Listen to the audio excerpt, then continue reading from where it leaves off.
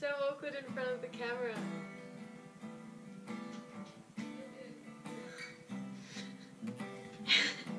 hey friends, um, so this is just a little update video on what I've been up to lately. I haven't really posted on YouTube much and that's because I've recently, sort of recently, probably the past year, been working um, with this band called Antonia and the Lazy Susans and we've been more seriously um, putting some stuff together in the past six months. Um, so I just wanted to announce that we're going to release our single with a little do-it-yourself music video that we've made on July the 21st and so that will be up on this channel.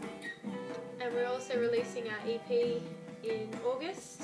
August 13th the rest of the EP will be out and it's called Closure there's a link down to the Facebook page. We've also got an Instagram page and a Twitter page, and those will all be in the links below. The single, the single is going to be called Home Here with Your Friends. We're really proud of how it's all turned out, and I can't wait for you to hear it.